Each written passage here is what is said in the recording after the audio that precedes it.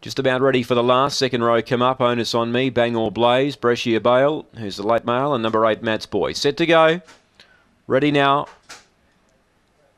Set to see them run racing. Emily Avenue slow, great speed, fabulous boy. Now out wide, uh, Matt's boy rushes up to second, a half head away. About two away, third, Brescia Bale out very wide. University Tab runs on, so does Kansas Bale. Further back, Onus on me. Well back, Bangor Blaze. Emily Avenue's last up front, still fabulous boy, a length and a half. Matt's boy can't get there. Wide out was University Tab and fabulous boys going all the way. Second, Matt's boy. Third, University Tab. Fourth, Kansas Bale. Behind those in Brescia Bale. Next in Bangor Blaze. Uh, Emily Avenue, slow out today. Second last and last in was Onus on Me, 22.83 the time.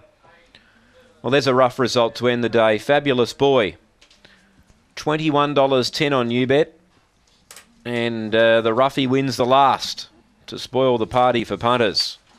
Fabulous boy. Now, last start winner here at Gawler.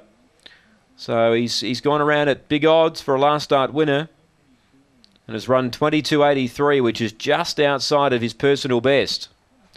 Eight second Matt's Boy had its chance to win.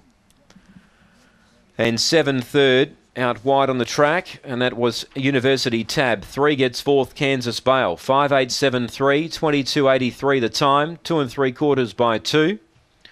Two and three quarters by two. 5873, 870 the early sectional and uh, the run home was in 14 13 14 13